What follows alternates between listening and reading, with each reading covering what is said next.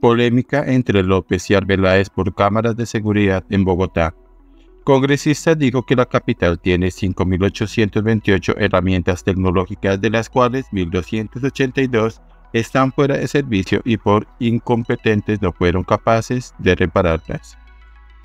De mentirosa tildó la representante de Cambio Radical Carolina Arbeláez a la exalcaldesa de Bogotá Claudia López, quien a finales del año pasado aseguró que 8.500 cámaras de seguridad fueron instaladas en la capital durante su gestión.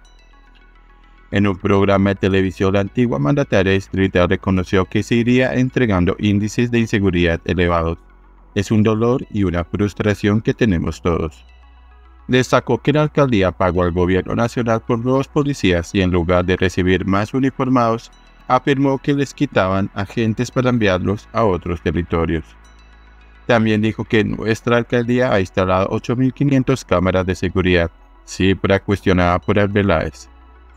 En torno a ello, la representante, quien realizó un derecho de petición a la Secretaría de Seguridad, constató que pese a lo dicho por López entre 2020 y 2023, no se instaló ni una sola cámara de seguridad en Bogotá. La exalcaldesa en un programa de Yamitamat aseguró que había instalado 8.500 cámaras de seguridad en Bogotá, información que es completamente falsa. Claudia López no instaló una sola cámara durante su mandato. Bogotá tiene 5.828 cámaras de seguridad, de las cuales 1.282 están fuera de servicio, y por incompetentes no fueron capaces de repararlas.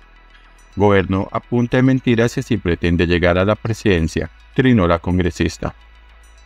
Claudia López le emitió a Bogotá. La Secretaría de Seguridad tiene en funcionamiento 4.543 cámaras que fueron adquiridas en la administración de Enrique Peñalosa.